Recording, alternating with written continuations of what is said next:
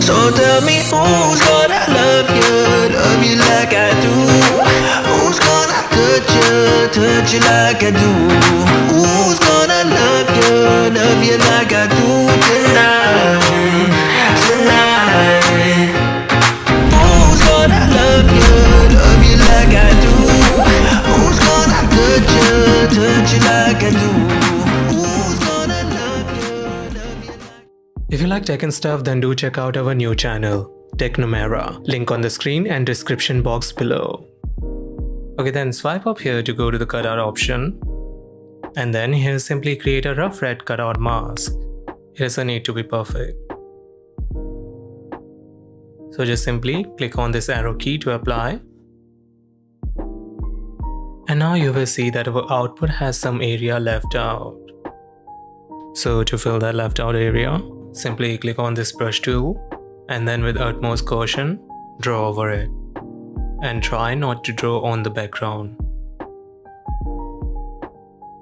Once it is done, click on apply and now we will get a mask of our picture. Now this part that I'm about to do is optional, you can skip it if you want to. Okay then, click on this FX effects and swipe right till you see this black and white highlight contrast effect and then simply apply it on the photo. Okay now from here on the main effect starts. Now slide up till you see this draw tool, click on it and then click on this first draw now. Okay now click on this layer option and you will see this empty layer highlighted. Now simply click on this jerk dye filler and here select the black color and click OK. Now from here change its blend mode to multiply. Okay now don't care about this grey background. Simply click on this brush tool and here select this one and change the size anywhere between 3 to 8. And then click here to change the color to white. And now if you start scribbling around the image, then you will notice that our image is starting to come out. Now keep scribbling and just don't overdo it. And once you are satisfied with the result, simply click on this layer 2, then click on these three dots and click on merge to merge these together.